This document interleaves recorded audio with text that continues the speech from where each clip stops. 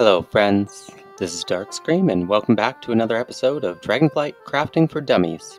Although, really, this isn't too much about Dragonflight. So, this is a update that snuck in on patch 10.0.7. It looked like it kind of came with the Zul'Gurub updates, but it's actually not part of those updates.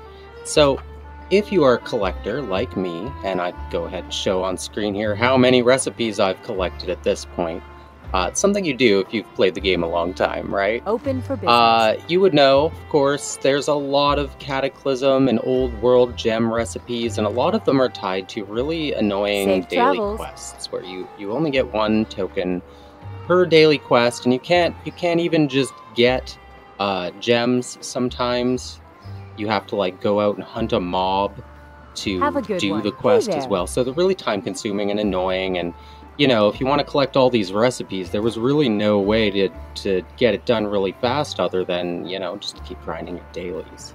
Now, there's been a change added in this patch. You can see here that I've actually got a bunch of Cataclysm junk in my bags, and this is because there's a new reagent and new currency that's been added. We have the illustrious Gem Dust and the illustrious Jewel Crafter's token. So, Blizzard snuck in a new around. recipe here.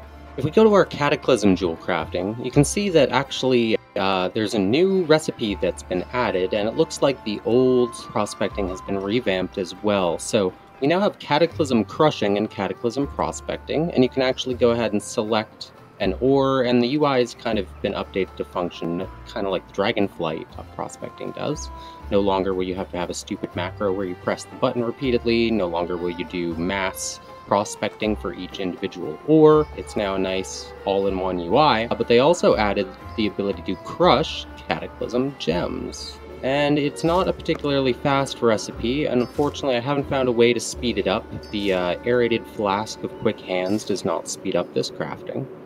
But crushing these gems, uh, you get one to two gem dust for the common gems. You get, I think it's three to five for the rare, the blue gems. And then uh, you can also crush these epic gems, which only come from Dragon Soul. If you have the currency, you can buy them. You get a currency from the bosses. So uh, they crush pretty well too. I think they turn into five or six. It takes 10 of these dust to buy one token. Fortunately, you can't shift click it either. You have to manually go through and buy them. It's a real pain. However, this is pretty nice. This lets you get these illustrious jewel crafting tokens. You pretty much just throw money at the problem. Now, what are these recipes good for? Why am I doing this? Well, other than just collecting them and increasing my total recipe count, a lot of these gems are good for like time walking and mage tower type scenarios. You have a lot of variety. You can get two secondary stats. You can get armor and stamina. Uh, there's some that have, I think, primary stat, especially where you See have later. uh, old Good equipment that may have multiple gem slots. Like, if you take a look here, oh, these are only one gem slot, but still, some of these recipes are still what you want to acquire. And there's quite a lot of these that are needed. You know, it's a it's a few hundred of these tokens to get all the recipes done. Have now, once you one. work your way through the common and the older Cataclysm recipes, you can move on to Looking for the something specific? final raid tier. Uh, these ones are associated, like I said, with Dragon Soul. Now they're five apiece, but they've also gone ahead and added the Tome of Burning Jewels, so you can do a random learn for only four tokens, lets you get through that a little more efficiently. So this, all in all, is a really nice. Uh, of course, you are going to spend some time on it here. You have to Cataclysm crush your gems. It takes some time, so you probably want to look at the prices of these materials right now and they are selling for these Needs to prices at least too. two Uh, because old. collectors like me, they don't want to fart around with a daily quest for months.